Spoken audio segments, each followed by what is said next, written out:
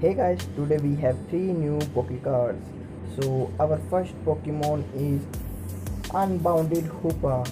Its HP is 190 and it's a basic character. Its power is Delish Hands. So it's a good card. Maybe it's rare. So our next card is Micho. Its HP is 170 and its damage is very high. It's also a basic character. You can see basic at the left corner.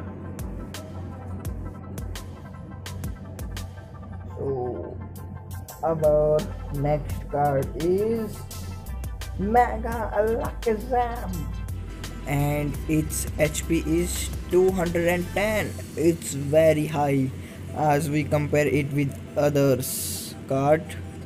And it's not a basic Pokemon it's a mega Pokemon.